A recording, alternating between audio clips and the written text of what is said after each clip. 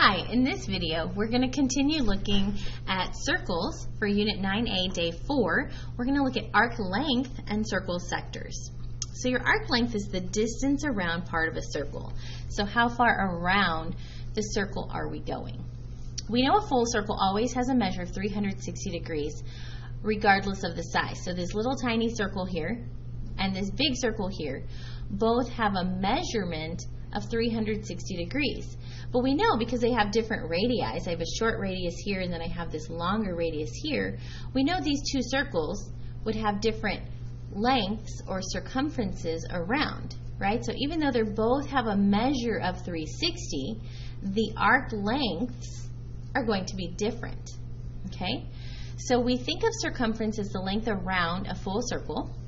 The length around the of an arc around a full circle will be different depending on size, right? So you'll have small, smaller lengths and larger lengths, even though they're both 360 degrees. So in the circle to the right, if AB is 5 centimeters, so from A to B, from here to here, that whole length is 5 centimeters. We know the measure of arc BFB so I'm starting at B, I'm going through F, and I'm going all the way back around to B. So the whole circle, BFB, is 360 degrees.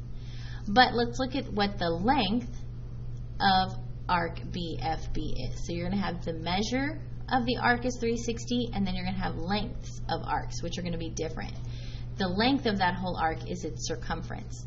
So 2 pi r is my formula, or 2 times the di or sorry, the diameter times pi, but since I have my radius is 5. I'm going to use r as 5. And 2 times 5 is 10, so I know this is 10 pi. And if it asks me for the exact length, I'm going to just leave it as 10 pi. I'm not going to change it to a decimal. So the length of arc BFB is 3 is 10 times pi and we should probably put centimeters. Okay, so you have the measure of arc BFB and you have the length of arc BFB. And those are two different things. I have 360 degrees and I have 10 pi centimeters.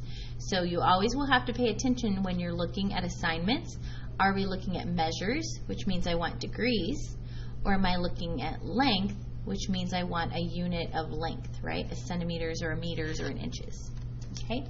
Now, sometimes our arcs we learned in the last lesson or last couple lessons, our arcs, we're just looking at part of the circle. We're not going all the way around the circle. We're just looking from arc ED, just part of the circle. So let's say what if this is going one-fourth the way around the circle, right? Instead of going all the way around the circle, we're only going to do one-fourth of that circle, okay?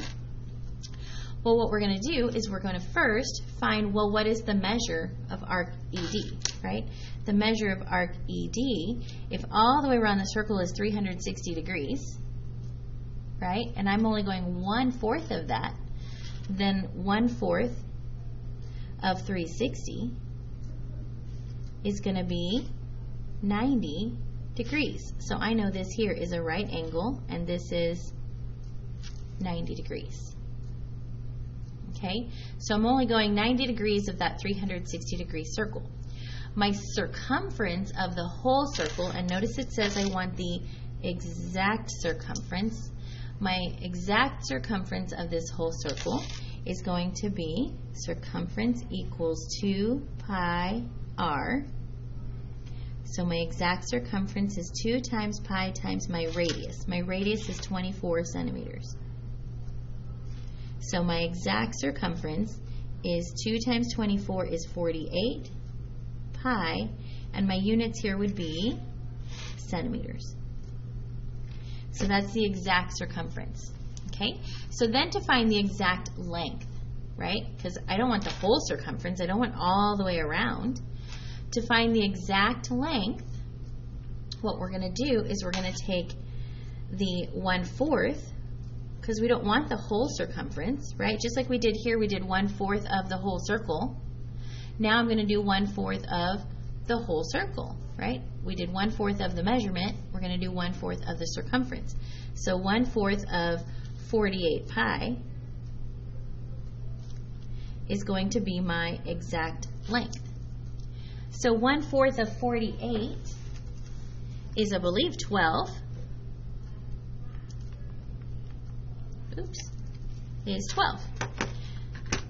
Notice I didn't say 1 fourth of 48 pi. I just did 1 fourth of 48, right? I did 1 fourth times 48, and I got 12, or 48 divided by 4, and I got 12.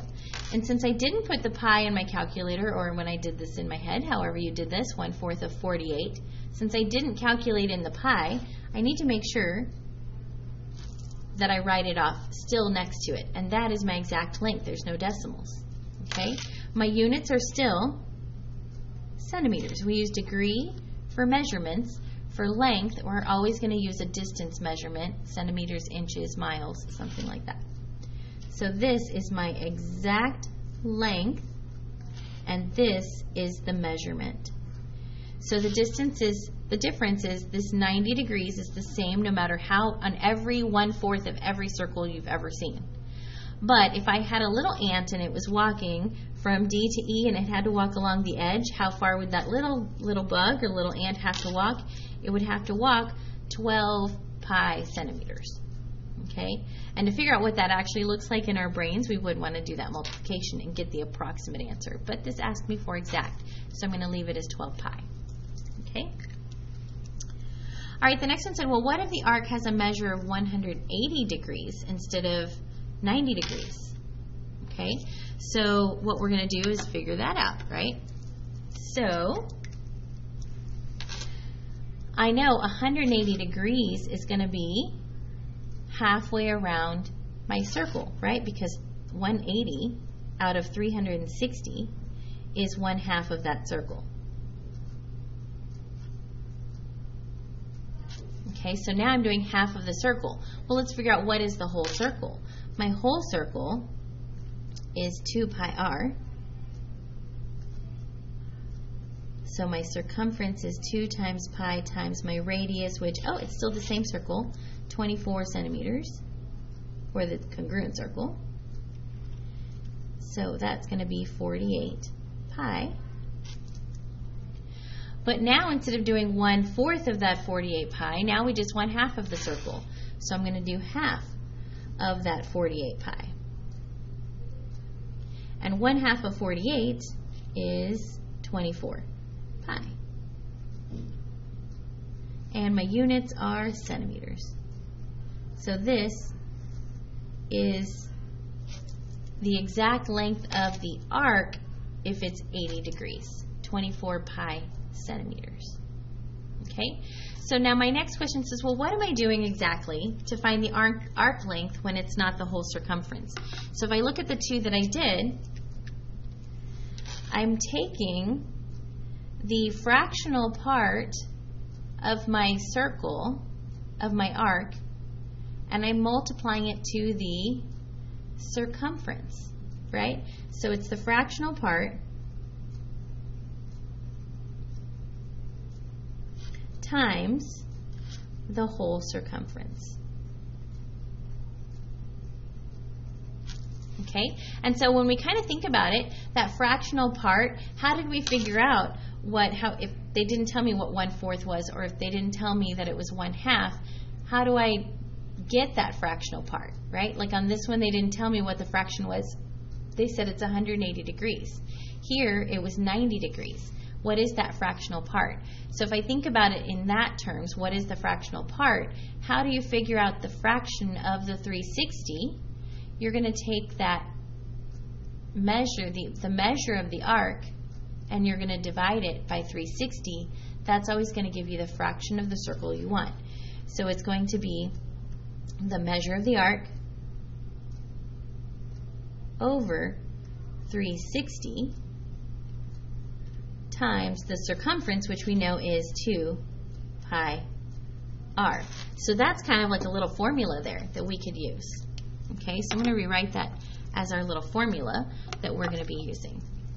Okay, so my formula here is length equals the fractional part, which was the measure of the arc, over 360 times the circumference, 2 pi r. Okay, so this becomes kind of like a little formula that we can use anytime we want to find the length. Remember, length and measure are two different things. In the next video, we're going to look at some others other than one-fourth and one-half and try to find some arc lengths and then maybe even move into some sector areas. Come on back for the next video. Thank you so much for watching.